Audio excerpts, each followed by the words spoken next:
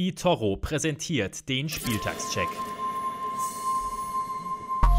Moin, liebe HSVer, herzlich willkommen zum eToro Spieltagscheck vor dem 27. Zweitligaspieltag.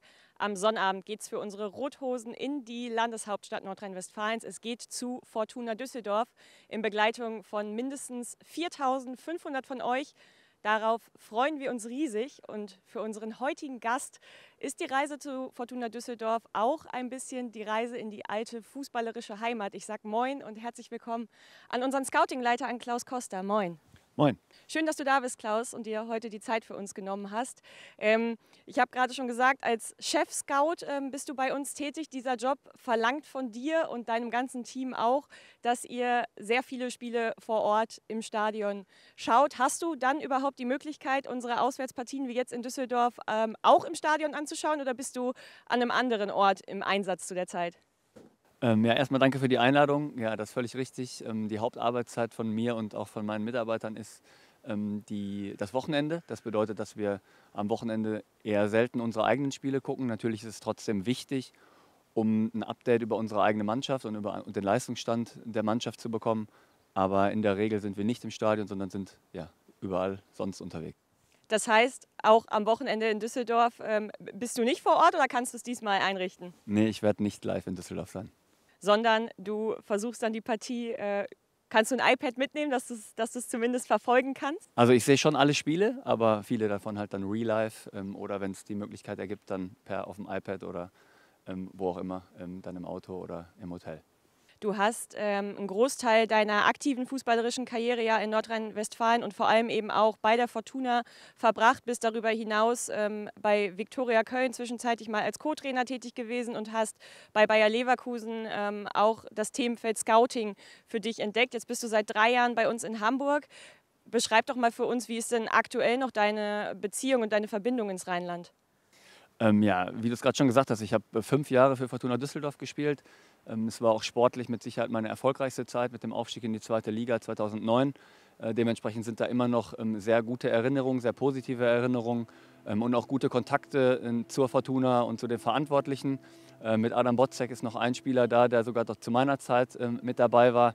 Aber ansonsten der Sportdirektor, der neue Sportdirektor Christian Weber ist ein sehr, sehr enger Freund von mir und im ganzen Team ums Team herum sind noch sehr, sehr viele Leute, mit denen ich gute Erinnerungen verbinde und mit denen ich auch regelmäßigen Kontakt pflege.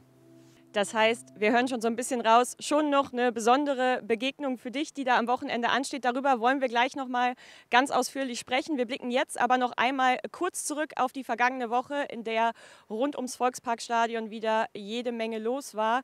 Und wir hatten in dieser Woche gute Nachrichten, weil einige Jungs wieder zurück auf den Trainingsplatz kehren konnten.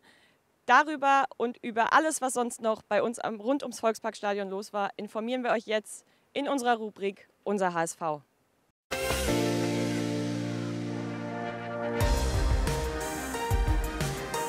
Der Trainingsplatz am Volkspark füllt sich wieder. Bis zum Ende der Woche waren alle Corona-erkrankten Spieler zurück auf dem Rasen. Inwiefern sie für das Wochenende wieder eine Option sind, erklärte Cheftrainer Tim Walter auf der Pressekonferenz.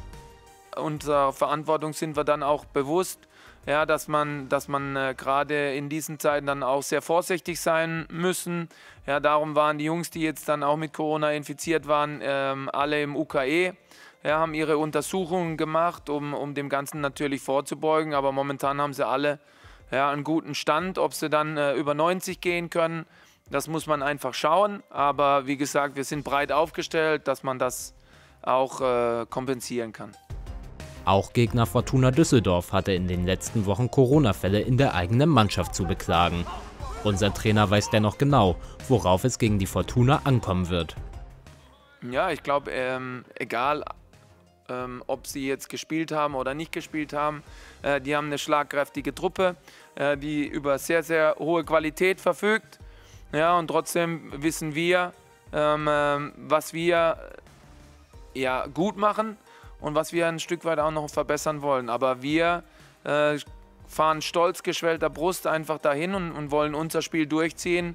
Ja, bei allem äh, Respekt vor dem Gegner äh, geht es darum, unser Spiel durchzuziehen. Und das wollen wir auch äh, am Samstag so machen. Freudige Nachrichten gab es in dieser Woche außerdem von Mario Vuskovic. Der Kroate wechselt fest bis 2025 an die Elbe und bleibt damit weiterhin ein Teil des HSV. Also jede Menge los gewesen in den zurückliegenden Tagen und darüber wollen wir jetzt noch mal ausführlicher mit Klaus Costa sprechen. Klaus, ähm, wenn wir vielleicht einmal auf äh, Mario Vuskovic eingehen, der jetzt die Raute noch ein paar Jahre länger auf der Brust tragen wird ähm, und sich ja wirklich in den vergangenen Monaten hier rasend schnell eingelebt und auch festgespielt hat auf dem Platz. Wie ist deine Einschätzung zu ihm? Wie nimmst du ihn auf dem Platz, aber auch äh, im Alltag hier äh, rund ums Volksparkstadion wahr? Ähm, ja, ich glaube, Mario Vuskovic ist ein Paradebeispiel dafür, wie wir uns in den letzten ja, zwei, drei Jahren als Verein und ähm, in der gesamten ähm, Strategie entwickelt haben. Ähm, ich glaube, wir, wir sind den Weg der Entwicklung konsequent gegangen und Mario Ruskovic ist dafür ein sehr, sehr gutes Beispiel, wie ähm, die Zusammenarbeit zwischen Scouting, ähm, Kaderplanung und vor allen Dingen auch dem Trainerteam funktioniert. Ich glaube, er, hat sich super entwickelt. Ich, ich glaube, die Erwartungen waren, hat die Erwartungen nicht nur erfüllt, sondern auch übertroffen. Aber wir haben uns natürlich auch was dabei gedacht, als wir Mario äh, verpflichtet haben. Und es ist schön zu sehen, dass es am Ende so aufgegangen ist. Er ist ja am Deadline Day der vergangenen äh, Sommertransferperiode zu uns gewechselt. Ihr hattet ihn äh, natürlich aber schon sehr viel länger auch auf dem Zettel. Nimm uns mal mit, wie läuft das insbesondere bei international äh, agierenden Spielern ab? Könnt ihr auch diese Spieler immer mal wieder vor Ort scouten oder läuft das dann vor allem über äh, Videoaufnahmen? Ähm, grundsätzlich ist es sehr, sehr unterschiedlich, wie Transfers zustande kommen. Manche können lange vorbereitet werden, bei manchen Transfers muss man schnell handeln. Ähm, bei Mario war es halt so, dass wir ähm, ihn in Kroatien häufig gesehen haben, weil er ja schon Stammspieler bei Hajduk Split war. Ähm, aber besonders ähm, ist er uns nochmal aufgefallen ähm, in der U21 bei der Europameisterschaft, die letztes Jahr im äh, Frühjahr stattgefunden hat, wo er als jüngster Spieler Kroat in der kroatischen Mannschaft wirklich starke Leistung gebracht hat. Und ähm, wir hatten ihn auf dem Zettel und waren dann geduldig und hartnäckig. Und als es am Ende dann die Möglichkeit äh, sich ergeben hat, da haben wir natürlich schnell gehandelt und ähm, ja, ist natürlich auch eine super Arbeit ähm, vom Sportdirektor und vom Sportvorstand, ähm, so eine Verpflichtung dann auch umzusetzen nicht nur am Deadline Day, sondern in der äh, ganzen Transferphase kursieren ja immer jede Menge äh, Namen durch die Presse, durchs Netz. Immer mal wieder taucht dann auch jemand plötzlich auf, von dem man das vielleicht gar nicht unbedingt erwartet hätte. Ähm, für euch ist das natürlich aber alles gar kein Zufall, sondern da steckt ganz viel Arbeit und ganz viel Fleiß dahinter. Kannst du uns so ein bisschen in euren Alltag ähm, mal mitnehmen? Wie konkret arbeitet ihr auch jetzt schon während der Saison dann für ähm, die Kaderplanung der kommenden Spielzeiten? Ja, also Kaderplanung und auch Scouting, das ist ein dynamischer Prozess, der permanent im Hintergrund abläuft. Ähm, wie du es gerade ansprichst, Namen, die dann äh, durch die Medien geistern, das können wir nicht äh, immer steuern, nicht beeinflussen und schon gar nicht verhindern. Aber das stört uns eigentlich nicht in unserer Arbeit. Wichtig ist, dass intern ähm, ja, gut zusammengearbeitet wird und ich glaube, das kann man mit Fug und Recht behaupten. Ähm, ja, zum Thema Kaderplanung und Scouting. Wir beobachten unsere Kernmärkte dauerhaft. Ähm, wir tauschen uns eng aus, die Scouts sind unterwegs, wir arbeiten auch datenbasiert, also wir versuchen ein vollumfängliches Bild von den Spielern zu generieren um dann für jedes, für jedes Regal eine Option parat zu haben. Und am Ende ähm, ist es dann halt eine Frage der Kaderplanung, was ist der Bedarf und dann versuchen wir ähm, aus unserer Sicht die bestmöglichen äh, Vorschläge zu machen. Wie sieht das konkret aus, wenn ihr jetzt ähm, einen Spieler oder ein Spiel grundsätzlich begleitet? Sitzt ihr dann mit einer äh, gewissen Checkliste auf der Tribüne oder was sind vielleicht Punkte, die euch ganz besonders wichtig sind? Ja, du sprichst es an. Die Checkliste ist zwar nicht auf dem Papier in dieser klassischen Form mit dabei, aber im Kopf ist sie, ist sie schon vorhanden. Und das ist so ein bisschen die Arbeit. Wir versuchen den Spieler ja, komplett zu durchleuchten, in all seinen Teilbereichen so für uns zu zerlegen, um ihn, um ihn vergleichbar zu machen, um ihn mit äh, anderen Alternativen, mit unserem eigenen Kader vergleichbar zu machen und dann zu diskutieren. Und ja, im Prinzip ist es wirklich so, dass man versucht, eine, eine gedankliche Checkliste abzuarbeiten, wo man auf alle Facetten, die ein Fußballspieler ausmachen, eingeht. Was macht diesen Job für dich auch ganz persönlich so besonders?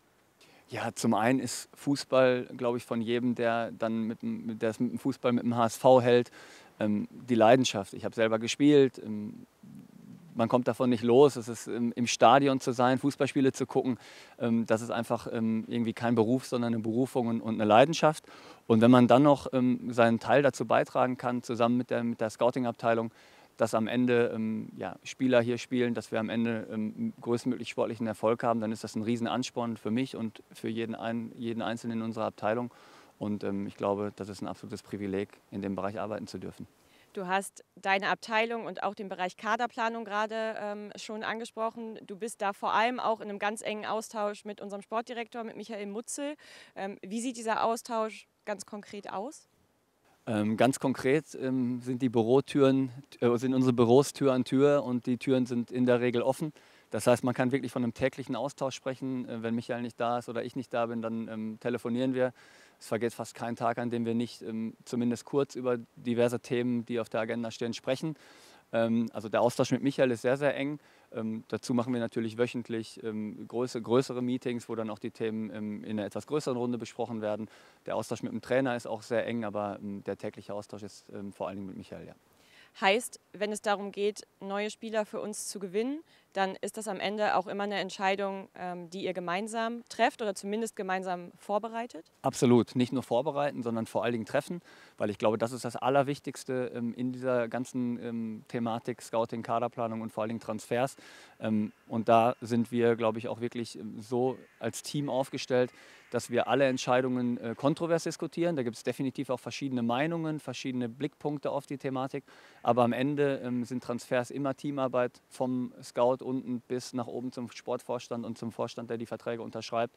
Ähm, da steckt jede Menge Teamwork drin und die Entscheidungen fallen dann auf jeden Fall ähm, immer im, in, der, in der Gruppe.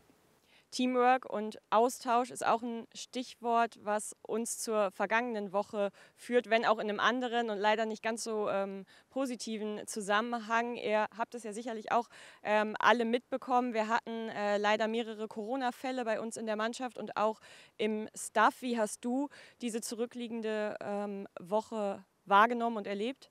Ja, sehr dynamisch und ähm, auch ähm, ja, sehr, sehr ähm, ja, in negativer Hinsicht abwechslungsreich. Ähm, das Thema Corona war natürlich für uns alle letzte Woche irgendwie ein bisschen dominierend.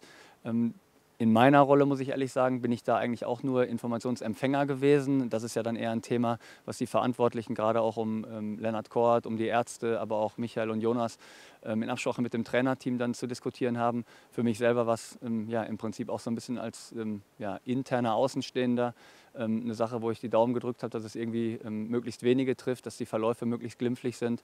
aber ich war da ja, glücklicherweise nicht so in die ganzen Themen involviert. Du warst aber selbst Profi, kannst uns vielleicht aus äh, der Warte einmal mitnehmen, was es mit einer Mannschaft macht, wenn sie ähm, so kurzfristig ein Pflichtspiel absagen muss und zunächst mal zumindest aus dem sportlichen Rhythmus gerät.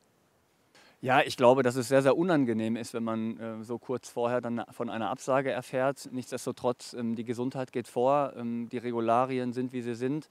Wenn am Ende nicht genügend Spieler ansatzbereit sind, dann ähm, sind die Regularien so, dass ein Spiel abgesagt wird. Ich glaube, das hat sich keiner gewünscht. Wir nicht, sicherlich auch der Gegner nicht. Aber das muss man so nehmen, wie es ist. Und am Ende wird das Spiel nachgeholt und da muss man äh, halt an dem Tag gewinnen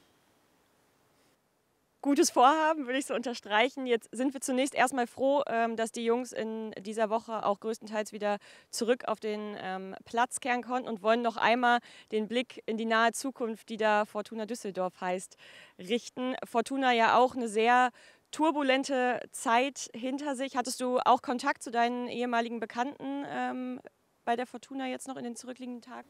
Ja, speziell mit Christian Weber, den ja dieses Thema jetzt als neuer, äh, in seiner neuen Rolle extrem ähm, beschäftigt hat, der extrem damit zu tun hatte. Ähm, Fortuna hat gespielt, auch obwohl sie sehr viele ähm, Corona-bedingte Spiel äh, Spielerausfälle hatten, ähm, war sicherlich auch für ihn und für das ganze Team drumherum sehr anspruchsvoll. Ähm, ja, der Austausch ist auf jeden Fall ähm, durchaus rege. Ja. Was für eine Partie dürfen wir und dürfen die HSV-Fans denn in Düsseldorf erwarten? Ja, auf jeden Fall eine sehr intensive Partie. Ähm, Fortuna hat sich jetzt in den letzten Wochen extrem stabilisiert. Ich glaube, seit dem Trainerwechsel äh, nicht mehr verloren, viele Punkte geholt und sind jetzt in einem, in einem, in einem guten Flow. Ähm, wir sind aber auch selbstbewusst und wir sind auch ähm, ambitioniert und ich glaube, da wird ein interessantes Spiel auf uns zukommen und ich bin sehr zuversichtlich, dass wir die drei Punkte mitnehmen. Du hast äh, den neuen Trainer Daniel Thune, unseren Ex-Coach, gerade schon angesprochen. Außerdem sehen wir Khaled Narey unter anderem wieder. Du ja ohnehin sehr viele Freunde und Bekannte. Ähm, und gleichzeitig ist es eben auch eine sportlich unfassbar wichtige Begegnung. Die Liga ist am vergangenen Wochenende ja nochmal ein bisschen enger zusammengerückt. Nürnberg und Heidenheim sind auch wieder ähm, voll dabei, was die oberen Tabellenplätze angeht. Kannst du aktuell eine Prognose abgeben? Was erwartet uns da noch für einen Saisonendspurt? Ja, auf jeden Fall ein sehr enger Saison, Saisonendspurt. Ähm, ich halte nicht so viel von Prognosen und Hochrechnungen und ähm, ja, würde auch gerne dann die drei Euro ins Phrasenschwein später noch einzahlen. Aber ich glaube, es ist wichtig, dass man aufs nächste Spiel guckt und von Spiel zu Spiel guckt. Ähm, die Konstellation ist eng. Ähm, wir haben ein Spiel weniger. Es geht aber auch darum, dass viele Mannschaften noch gegeneinander spielen, was aber in der Liga auch nicht viel bedeutet, weil wir ja auch gesehen haben, dass ähm, viele Mannschaften oder jede Mannschaft gegen jede Mannschaft was holen kann. Das bedeutet, man muss wirklich schauen, dass man die Punkte einsammelt und ähm, dementsprechend Prognosen halte ich mich zurück.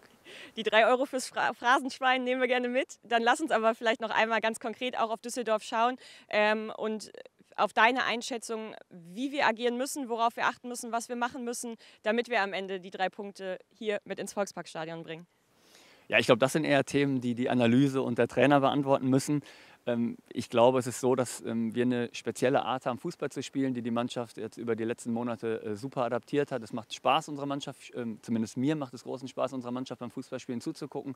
Und unser Spiel steht und fällt ja meistens damit, wie gut wir in unsere eigenen Abläufe reinkommen, wie gut wir unseren Fußball, den der Trainer, den das Trainerteam sehen möchte, umgesetzt bekommen. immer in den Spielen, wenn wir das geschafft haben, dominant zu sein und, und das so umzusetzen, dann sind wir sehr, sehr schwer zu bezwingen. Und ich glaube, das muss der Anspruch sein. Und ähm, natürlich müssen wir den, den Gegner, uns auf den Gegner einstellen. Aber ich glaube, das Wesentliche ist, dass wir bei uns sind und äh, unseren Fußball versuchen durchzudrücken. Unseren Fußball dominant auf den Platz bringen. Darum wird es am Sonnabend in Düsseldorf gehen. Und wir gucken uns jetzt noch mal ein bisschen genauer an, was die Fortuna eigentlich so drauf hat. Mit Fortuna Düsseldorf trifft unser HSV am Sonnabend auf eines der aktuell formstärksten Teams der Liga. Seit Ex-HSV-Trainer Daniel Thun die Fortunen im Februar als Chefcoach übernommen hat, sind die Düsseldorfer ungeschlagen. Thun holte mit seinem Team in seinen ersten vier Partien 10 von 12 möglichen Punkten. So viel wie noch kein Düsseldorfer Trainer seit Gründung der Bundesliga bei der gleichen Anzahl an Spielen. Auch das Torverhältnis der Fortunen in den letzten fünf Partien kann sich sehen lassen. Das Offensivtrio aus Narey, Hennings und Ginczek traf in den vergangenen Duellen neunmal ins Netz. Und auch die Defensive der Fortunen hat sich stark verbessert. Keeper Florian Kastenmeier und seine Vordermannschaft mussten sich unter Tune nur über drei Gegentore ärgern. Allerdings hatte die Fortuna genau wie die Mannschaft unseres HSV zuletzt mit einem Corona-Ausbruch zu kämpfen. Im Laufe der Woche erwarten die Düsseldorfer allerdings den Großteil der infizierten Spieler zurück auf den Platz. Und auch Trainer Daniel Thune ist bereits von seiner Corona-Infektion genesen und bereitet sich und sein Team auf ein Wiedersehen mit dem HSV vor. Und damit gehen wir rein in die Crunch-Time, in der Klaus gleich 60 Sekunden lang versuchen wird, diesen Ball hochzuhalten. Währenddessen stelle ich ihm Fragen zu seiner aktiven Karriere, zum HSV und zur zweiten Bundesliga ganz allgemein. Jede richtig beantwortete Frage gibt einen Punkt. Wenn du die Antwort mal nicht weißt, dann sagst du einfach weiter und wir hüpfen eine Frage weiter. Fällt der Ball innerhalb der 60 Sekunden auf den Boden, endet die Crunch-Time sofort und es zählt der Zwischenstand. Ansonsten zählen wir die Punkte nach 60 Sekunden zusammen. Und du hast gerade schon gesagt, Prognosen sind nicht so dein Ding.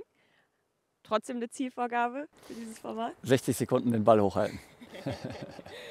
Versuchen wir mal. Gehen wir es an. Wenn du bereit bist, zähle ich runter und dann können wir starten. 3, 2, 1 und los. Mit welchen aktuell aktiven Fortuna-Profis standest du gemeinsam auf dem Platz? Adam Botzek und Ruven Hennings. Korrekt. Für wie viele Vereine aus Nordrhein-Westfalen hast du im Profibereich gespielt? Drei. Korrekt. Wie viele Spieler haben wir im vergangenen Sommer verpflichtet? Neun. Korrekt. In welcher Liga spielt der SC Fürstenfeldbruck? Ach, keine Ahnung. Äh, achte Liga. Kreisliga ist korrekt. Gegen wen hast du dein Zweitligadebüt gefeiert? TuS Koblenz. Korrekt. Mit welchem Spieler hast du die meisten gemeinsamen Spiele in deiner Karriere absolviert? Boah, Gaetano Mano? Falsch, Jens Langeneke. Wie viele Spieler in unserem Kader sind größer als du? Zwei. Falsch, vier. Wer ist aktueller Kapitän bei Fortuna Düsseldorf? Äh, Adam Botzek? Korrekt. Viktoria Köln steht aktuell auf einem Abstiegsplatz. Wahr oder falsch? Falsch. Korrekt. Gegen wen hast du dein erstes Drittligator erzielt? Dynamo Dresden? Korrekt. Welche war deine letzte Rückennummer? Die vier? Das ist auch korrekt. Und wenn wir mal kurz nachzählen, dann kommen wir bei acht richtigen Antworten raus. Das ist dafür, dass du vorhattest, 60 Sekunden den Ball hochzuhalten, auch eine richtig gute Ausbeute. Zweitbeste Platzierung in dieser Saison. Danke und ich weiß nicht, Fürstenfeldbruck, tatsächlich keine Ahnung und Kreisliga, achte Liga, vielleicht das weiß ich tatsächlich auch nicht. Vielleicht muss ich das nochmal äh, nachrecherchieren, ob Kreisliga gleich achte Liga ist. Ich weiß es auch nicht. So oder so, schon mal ein riesiges Dankeschön an dich, Klaus, dass du heute Gerne. da warst.